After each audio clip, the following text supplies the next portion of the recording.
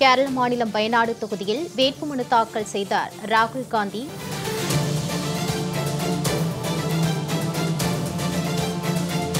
கேரள மாநிலம் வயநாடு தொகுதியில் ராகுல் காந்தி வேட்புமனு தாக்கல் செய்துள்ளார். அண்மை செய்தியாக பார்த்து வருகிறோம்.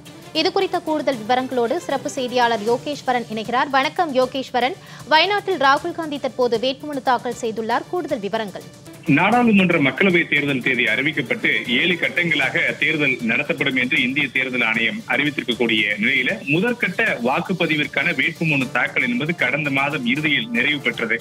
இந்த நிலையில இரண்டாம் கட்ட வேட்புமனு இரண்டாம் கட்ட தேர்தலுக்கான வேட்புமனு தாக்கல் என்பது கடந்த மார்ச் இருபத்தி எட்டாம் தேதி தொடங்கி ஏப்ரல் நான்காம் தேதி அதாவது நாளைய தினத்தோடு நிறைவடைய இருக்கிறது. இந்த இரண்டாம் கட்ட வாக்குப்பதிவுல கேரள மாநிலம் உள்ளிட்ட பல்வேறு மாநிலங்களுக்கு வாக்குப்பதிவு என்பது நடைபெற இருக்கிறது. இதுல கேரள மாநிலத்தில் இருக்கக்கூடிய இருபது மக்களவை தொகுதிகளுக்கான அந்த வேட்புமனு தாக்கல் என்பது நாளைய தினத்தோடு நிறைவடைய இருக்கக்கூடிய நிலையில இன்றைய தினம் கேரள மாநிலம் வயநாட்டில் இருக்கக்கூடிய கல்பெட்டா மாவட்டத்தில் இருக்கக்கூடிய மாவட்ட ஆட்சியர் அலுவலகத்துல காங்கிரஸ் கட்சியினுடைய முன்னாள் தலைவரும் தற்போதைய வயநாடு மக்களவை உறுப்பினருமான ராகுல் காந்தி வேட்பு மனுவை தாக்கல் செய்திருக்கிறார். இந்த வேட்புமனு தாக்கலின் போது காங்கிரஸ் கட்சியினுடைய தேசிய பொதுச் செயலாளர் பிரியங்கா காந்தி கே சி வேணுகோபால் இதே போல் காங்கிரஸ் கட்சியினுடைய கேரள மாநில தலைவர்கள் மூத்த தலைவர்கள் என பலரும் இந்த வேட்புமனு தாக்கல் நிகழ்வில் பங்கேற்றிருக்கிறார்கள். முன்னதாக கேரள மாநிலம் வந்திருந்த காங்கிரஸ் கட்சியினுடைய மூத்த தலைவர்கள் பிரியங்கா காந்தி மற்றும் ராகுல் காந்தி இருவருக்குமே காங்கிரஸ் கட்சி தரப்பிலிருந்து அமோக வரவேற்பு என்பது வழங்கப்பட்டது. அதே நேரத்துல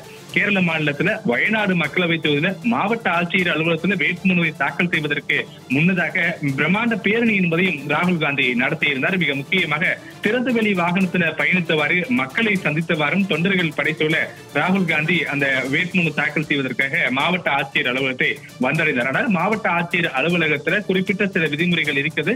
குறிப்பிட்ட நபர்கள் மட்டுமே செல்ல வேண்டும் என்ற விதிமுறையின் அடிப்படையில மாவட்ட ஆட்சியர் அலுவலகத்திலிருந்து நூறு மீட்டர் தொலைவிலே பேரணியை முடித்துக் கொண்ட ராகுல் காந்தி அங்கிருந்து நடந்து சென்று நேரடியாக வேட்புமனு என்பதை தாக்கல் செய்திருக்கிறார். இந்த நிகழ்ச்சி இந்த வேட்புமனு தாக்கல் நிகழ்வு நிகழ்வுல ராகுல் காந்தியோடு சேர்த்து பிரியங்கா காந்தி கே சி வேணுகோபால் உள்ளிட்ட பல்வேறு மூத்த தலைவர்களும் இருக்கிறார்கள். இரண்டாயிரத்தி பத்தொன்பது மக்களவை தேர்தலில் இதே நாடாளுமன்ற மக்களவை தொகுதியில தான் ராகுல் காந்தி போட்டியிட்டு இருந்தார். குறிப்பாக வயநாடு மக்களவை தொகுதியில் இருக்கக்கூடிய ஒட்டுமொத்தமாக பதிமூன்று லட்சம் வாக்காளர்களை ஏழு லட்சத்திற்கும் அதிகமான வாக்குகளை பெற்று ராகுல் காந்தி வெற்றி பெற்றிருந்தார். ராகுல் காந்திக்கு அடுத்தபடியாக சிபிஐ கட்சியை சேர்ந்த வேட்பாளர் இரண்டாயிரத்தி பத்தொன்பது தேர்தலில் இரண்டு லட்சத்திற்கும் அதிகமான வாக்குகளை மட்டுமே பெற்றிருந்தார். நான்கு லட்சத்திற்கும் அதிகமான வாக்குகள் வித்தியாசத்தில் ராகுல் காந்தி வெற்றி பெற்றிருந்த நிலையில மீண்டும் இரண்டாயிரத்தி இருபத்தி நான்கு மக்களவை தொகுதியில் இதே வயநாடு தொகுதியில் போட்டியிடுவதற்காக தற்போது வேட்புமனு என்பதை தாக்கல் செய்திருக்கிறார். யோகேஸ்வரன் இந்த வேட்புமனு தாக்கல் குறித்தான விரிவான தகவல்களுக்கு நன்றி.